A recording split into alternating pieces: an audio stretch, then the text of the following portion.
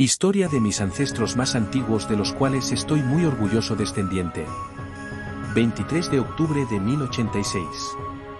La batalla de Zalaca. A pesar de no aprovechar la victoria, los almorávides derrotan a las tropas castellanas de Alfonso VI, el valiente, mi abuelo número 28, 11 veces mi abuelo, emperador, rey de Castilla, León y Toledo, abuelo madre de Dom Afonso Hendix. La batalla de Zalaca. La batalla de Zalaca tuvo lugar el 23 de octubre de 1086 en Sagrajas, cerca de Badajoz, España, enfrentándose a los reinos cristianos de la península ibérica y a los almorávides de Mauritania, quienes acudieron en ayuda de los reyes de Badajoz, Granada y Sevilla. La victoria acabó siendo de los musulmanes. A petición de Al-Mutamide, y Abdalá, reyes de las taifas de Sevilla, Badajoz y Granada respectivamente, el almorávide Yucufe y Netaxufine atravesó al Andalus con 7.000 guerreros hasta llegar a un lugar al norte de Badajoz llamado Sagrajas por los cristianos y Sagrajas por los musulmanes. Zalaca. Alfonso VI ya se encontraba en el lugar, teniendo su ejército reforzado con las tropas que Alvar Fáñez, conocido como Minaya, logró enviar, se estima que las tropas que tenía Alfonso VI eran 16.000 hombres y las de Yucufe y Netaxufine con refuerzos de Almutamide, Mutabakil y Abdalá eran 30.000 hombres. Hubo un breve intercambio de mensajes entre ambos líderes durante el cual Yucufe ofreció a Alfonso VI la posibilidad de convertirse al Islam, pagar tributo o iniciar la batalla.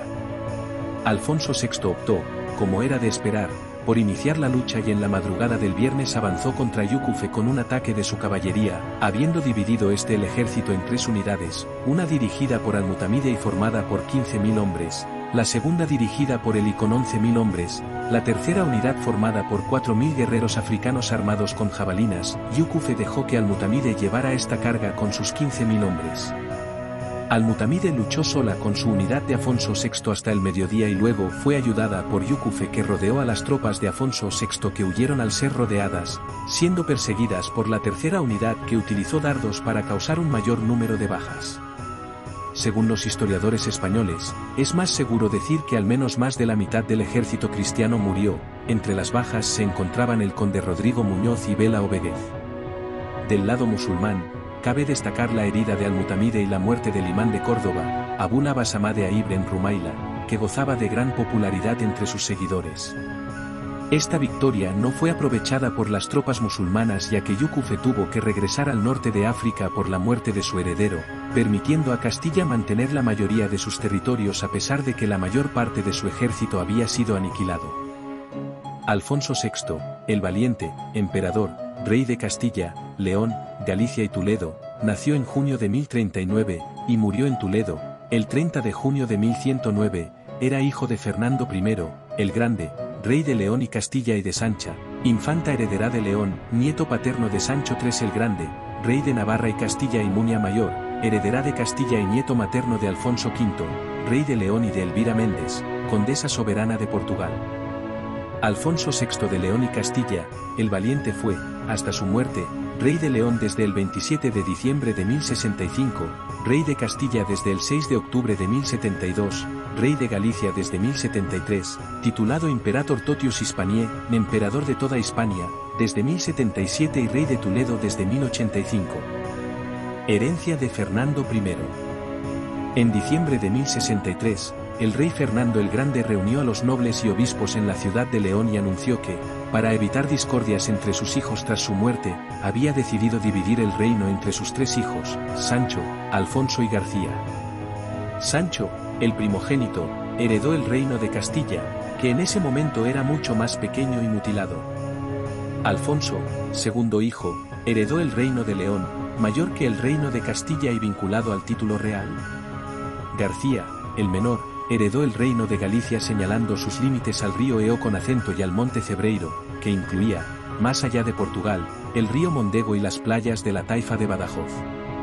Desde principios de su reinado, después del 27 de diciembre de 1065, día de la muerte de su padre, Alfonso VI tuvo que luchar contra los deseos expansionistas de su hermano Sancho. Tan pronto como murió la reina madre en 1067, Alfonso disputó el testamento de su padre y trató de apoderarse de los territorios heredados por sus hermanos. García fue el primero en ceder, en 1071, debido al acuerdo de los dos hermanos mayores de dividir su reino. Pero poco después se enfrentaron y Alfonso fue hecho prisionero por Sancho, quien también asumió la corona leonesa. Tras ser encarcelado en Burgos, huyó para refugiarse en el reino de Taifa de Toledo de Almamun pero ese mismo año Sancho II de Castilla sería asesinado por un noble zamorano, sin dejar heredero, lo que permitió a Alfonso recuperar Castilla y asumir la corona de León, y a García recuperar Galicia. La sospecha de la participación de Alfonso en la conspiración para matar a Sancho estaba presente en el imaginario de la época, mejor representada en la leyenda de las juras de Santa Gadea y en la canción Cantar de Mío Cid. Dicen que Rodrigo Díaz de Vívar, el Cid, obligó a Alfonso a jurar su inocencia en el asesinato, en la iglesia de Santa Gadea de Burgos. En represalia por esta afrenta, el futuro emperador desterraría al Cid de sus reinos. En 1073, García fue nuevamente depuesto por Alfonso y encarcelado en el castillo de Luna, donde moriría en 1090. Alfonso VI tomó así posesión de toda la herencia de su padre. Reinado.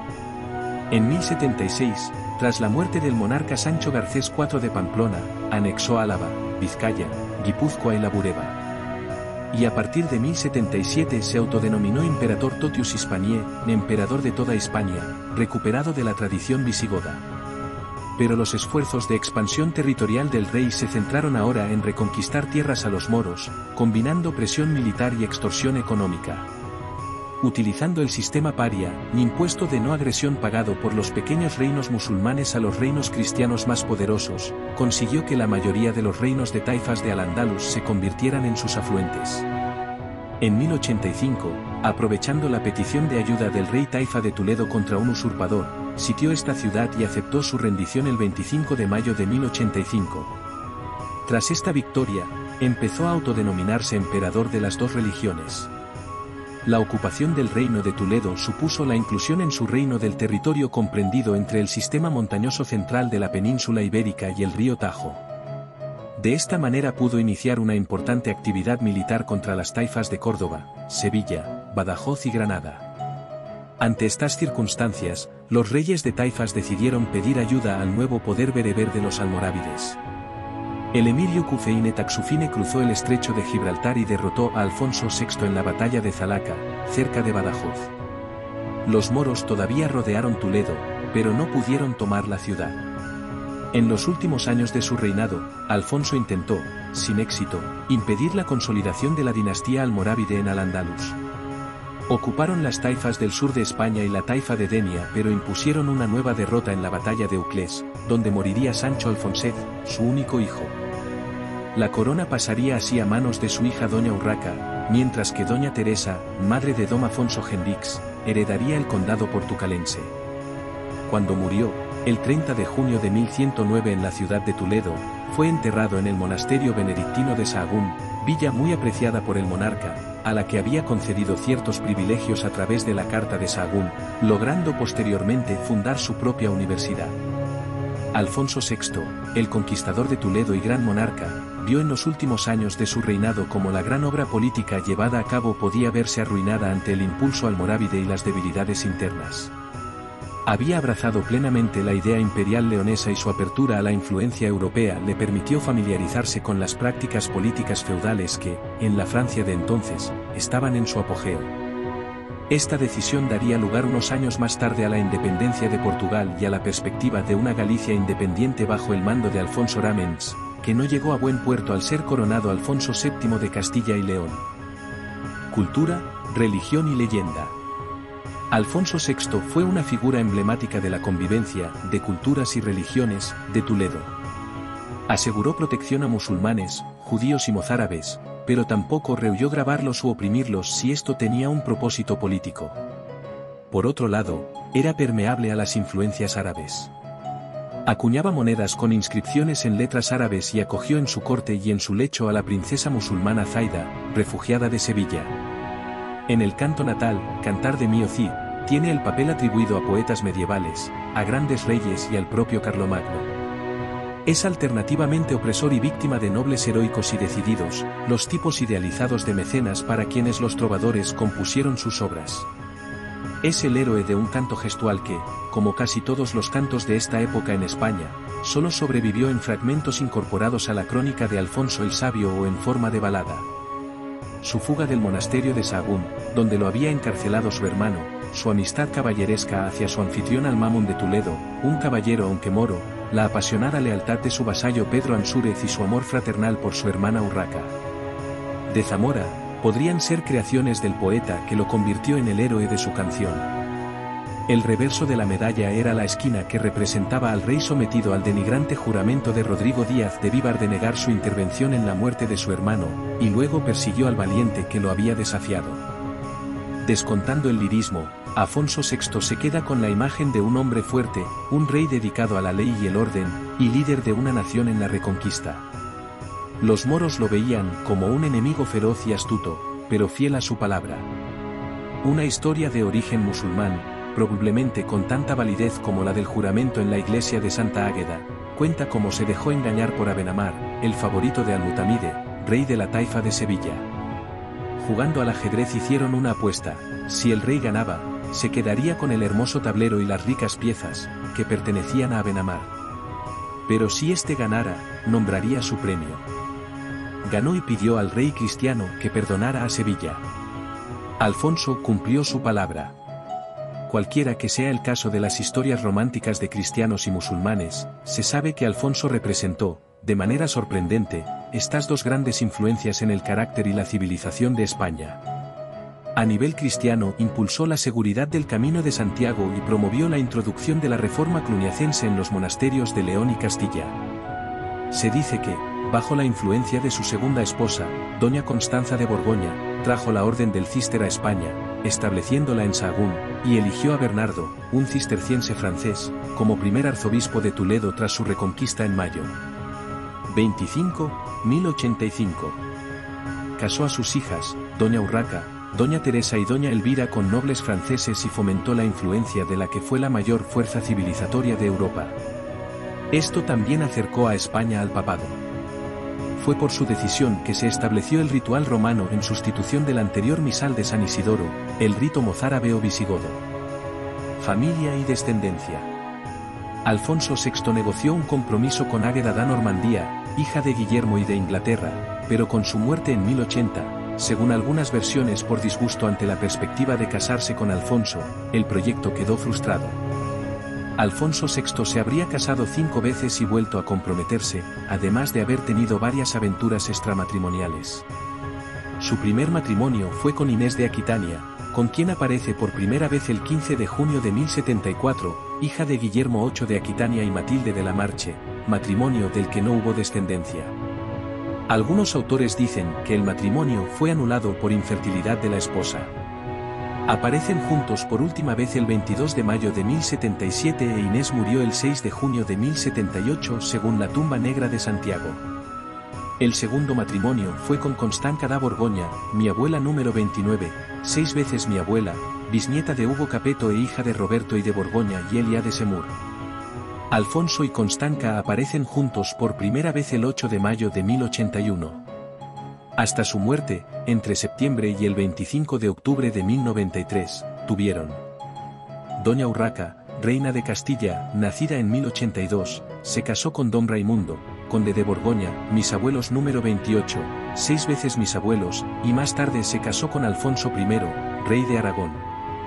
El tercer matrimonio tuvo lugar el 25 de noviembre de 1093 con Berta de Borgoña, hija de Guillermo, conde palatino de Borgoña, que aparece por última vez ante el rey el 17 de noviembre de 1099 y muere antes del 15 de enero de 1100, cuando el rey solo aparece realizando una donación a la Catedral de Compostela. De este matrimonio no hubo descendencia. El cuarto matrimonio es con Zaida luego Isabel de Sevilla, mi abuela número 29, cinco veces mi abuela, quien según algunos historiadores era una mujer noble cristiana, otros que era la Zaida morisca, hija de Ismail y Abad de Sevilla y viuda del rey Al-Mutamida. Procedente de la taifa de Sevilla, bautizada Isabel. En la crónica de Rebus Hispaniae, se encuentra entre las esposas de Alfonso VI el arzobispo de Toledo Rodrigo Jiménez de Rada. Sin embargo, la Crónica Nayerensis y el Cronicon Mundi indican que Zaida era la concubina y no la esposa de Alfonso VI. Se desconoce si el rey y Zaida iniciaron su relación antes o después de la muerte de la reina doña Constanza. Según el historiador Gonzalo Martínez Díez, se casó después de 1100. Murió el 12 de septiembre de 1197.